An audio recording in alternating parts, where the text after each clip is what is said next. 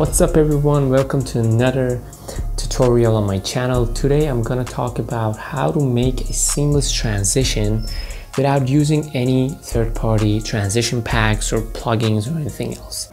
So why am I talking about transitions today? Because transitions are so important when you're making a video or working in cinematography stuff you have to pay attention, pay close attention to your transitions. Your transitions must have flow, the rhythm of your videos. Okay, before moving on, I have to remind you another time that if you like my video, if it was helpful for you, give it a thumbs up, subscribe it, and hit the notification button, and absolutely share it with your friends because it might be helpful to, for them as well.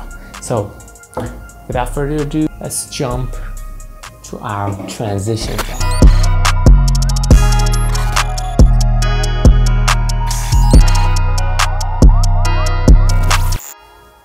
So first off, in order to make your transitions, you need to take your camera, remove the lens cap, because literally most of the time I forget to remove my lens cap and I'm sure that happened to you most of the time. So after that, what are you gonna need to do is that you close your camera as near as possible to your object so that your object fills the whole frame of your camera so that we can mask it later in Premiere Pro.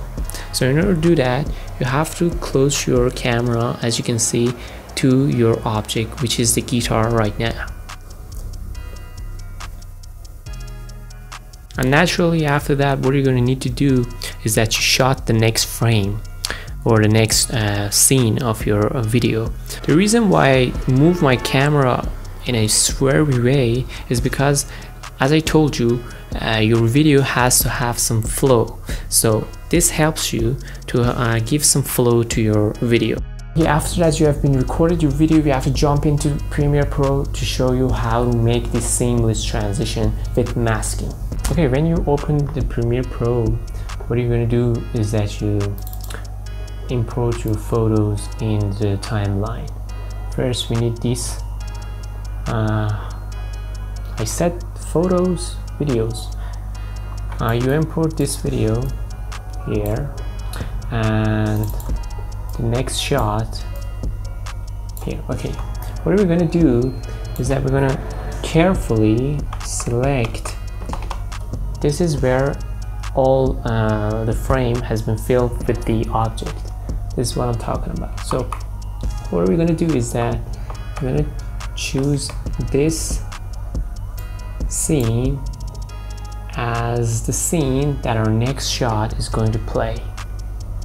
Because you see there are some uh, empty space that are going to show that is showing that we're going to see the next scene. So what are we're going to do is that we're going to move backward. This is where there's no scene. And just hit another frame and we are here. We're going to choose this second our second scene and exactly uh, put it here. Then what we're going to do is that we're going to choose our second uh, video and go to effects and control and we hit this to mask uh, the second scene. And what we're going to do is that we're going to uh, keyframe all these as well. And we that's it so we're going to choose this.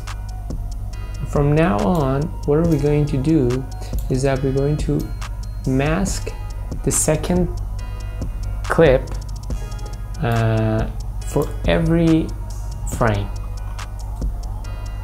So we uh, click this step forward one frame and next we're going to manually set this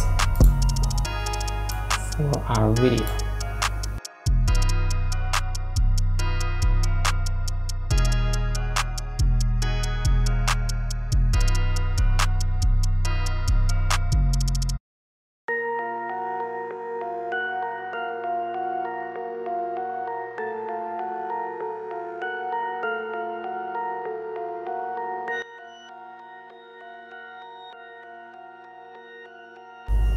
So if you play it back, you can see that the video has been smoothly transitioned between one clip, which is this clip, to the clip of showing the details of the guitar. Next thing that we, uh, want to do, that you want to do is to feather it out a bit until 30 would be okay. Because you can see the transitions feathered a bit. So if you play it back and forward, you can see that it okay that's it. Okay thank you for watching. I hope it was helpful. If it was share it to your friends like and subscribe it and hit the notification bell so you can get more tutorials out of me.